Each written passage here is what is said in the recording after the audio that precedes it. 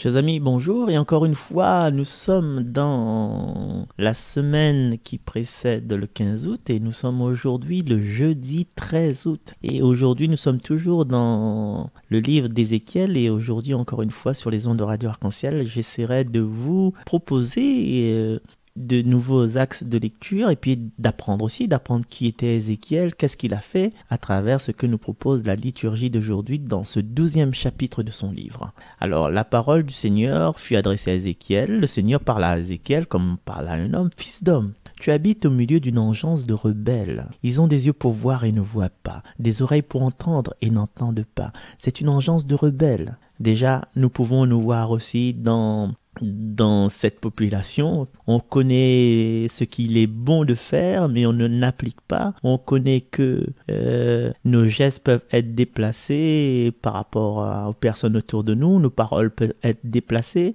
mais non, on, fait comme si on fait comme si ce n'était rien. Et nos oreilles écoutent les plaintes, les cris des, personnes qui sont dans les difficultés, et nous on passe à côté sans sans écouter. Ah m'attends Le, Seigneur poursuit, toi fils d'homme, prépare-toi un sac d'exilés. Sous leurs yeux, pars en plein jour comme un exilé. Sous leurs yeux, pars de ta maison vers un autre lieu. Peut-être verront-ils qu'ils sont une engeance de rebelles. Petite pause, alors quelquefois il vaut mieux, il vaut mieux justement montrer aux autres qu'on ne dépend pas des autres, qu'on n'a pas besoin de ressembler à, à eux parce qu'ils sont un petit peu dans dans la destruction et du coup faut pas avoir honte à, leur montrer que tu ne fais pas partie de ces personnes qui sont en train de se détruire, qui, sont, qui ont tourné le dos au Seigneur et qui sont, comme on dit, une engeance de rebelles. On continue. Tu sortiras ton sac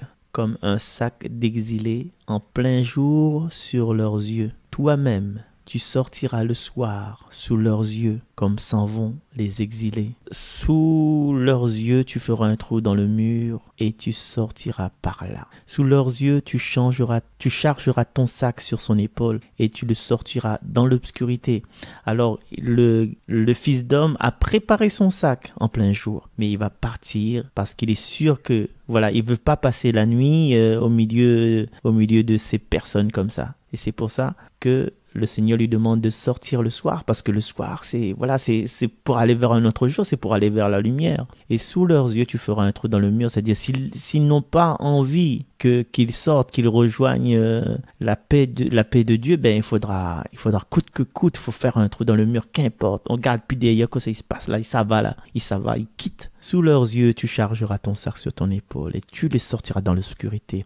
Tu voileras ton visage tu ne verras plus le pays, parce que même le pays, c'est une terre d'abomination. Je fais de toi un signe pour la maison d'Israël. Point, euh, fermez les guillemets dans la lecture, et puis pause pour nous. Donc, les personnes qui prennent des décisions de quitter euh, un univers où il y a la violence, un univers où il y a la violence conjugale, la violence sur les enfants, le papa qui veut violer, qui veut voler, qui veut taper avec euh, l'aide du diable de l'alcool, c'est un message d'espérance, d'espoir que Dieu te, te parle en ton cœur, te dit non, faut quitter, faut quitter, faut quitter, faut quitter. Et toi, tu n'as pas envie parce que tu as peur, mais Dieu veut surpasser tes peurs. On continue.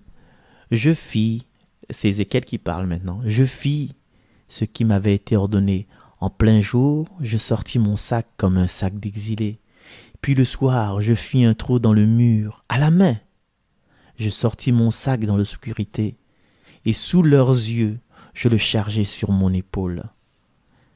Et que se passe-t-il? Au matin, la parole du Seigneur me fut adressée. Fils d'homme, la maison d'Israël, cette engeance de repère, t'a bien demandé Qu'est-ce que tu fais là? Réponds ainsi parle le Seigneur. Cet oracle concerne le prince qui est à Jérusalem et toute la maison d'Israël qui s'y trouve. Tu diras, Je suis pour vous un signe, ce que j'ai fait, c'est cela même qui leur sera fait. Et le Seigneur donne l'explication. Ils partiront en exil, en captivité, le prince qui est au milieu d'eux chargera son sac sur son épaule. Il sortira dans l'obscurité. On percera le mur pour le faire sortir. Il voilera son visage si bien qu'il ne verra plus de ses yeux le pays.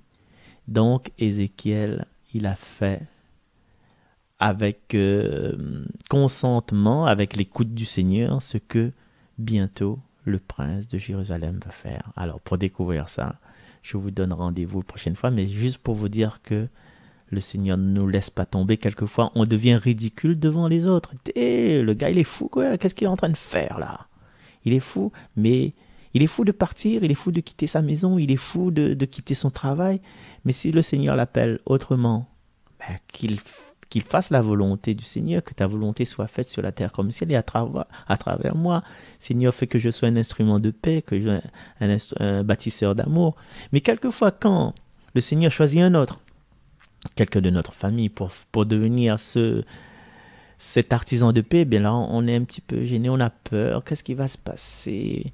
En fait, c'est parce que toi, tu as refusé la mission qui t'a été confiée. confiée. Ben, laisse-le. Toi, tu as refusé, tu veux l'empêcher aussi.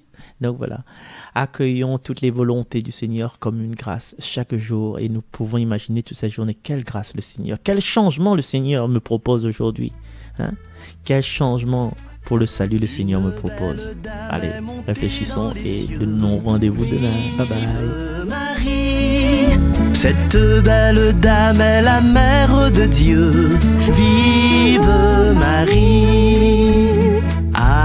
Nazareth, en Galilée, a grandi une fille immaculée.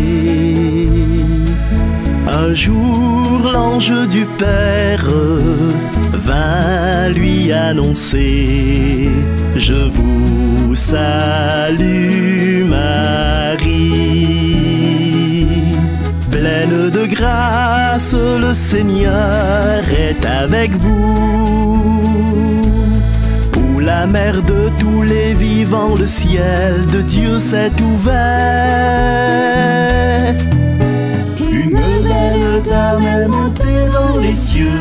Vive Marie, cette belle dame est la mère de Dieu. Vive Marie, soit faite ta volonté. Oui, voici ta servante, mon bien-aimé. Louange à notre Père pour sa préférée. Béni sois-tu, Marie. Soit le oui de ton cœur si tendre et si doux. Pour la mère de tous les vivants, le ciel de Dieu s'est ouvert.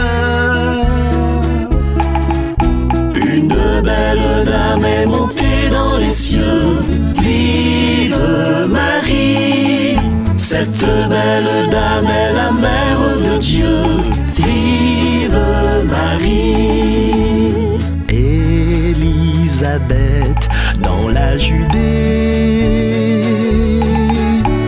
Vois ta cousine vient te visiter.